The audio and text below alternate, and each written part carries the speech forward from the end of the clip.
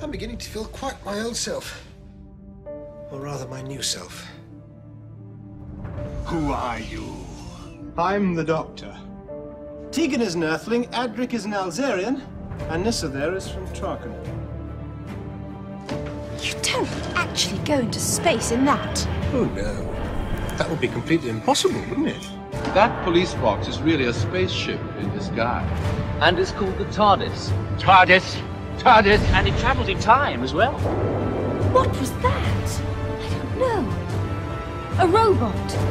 Now you will see our strength. Is that supposed to be Heathrow? As you know, the TARDIS isn't always, uh, reliable. Call yourself a Time Lord. Devious to the last, Doctor. Let them go. And deny them the feeling of fear. The ultimate in emotional response. The whole sky is ablaze. The primitives on this planet are too willful and aggressive. I have little need for them. Genocide. I suppose you're going to say you know nothing about the disappearance of three of my crew members. Good luck, old boy. Put the light on! Put the light on! In spite of your interference, we will still triumph. We've got to get to Earth and warn them! Of what? Who'll believe us? We'll be laughed at. We can try.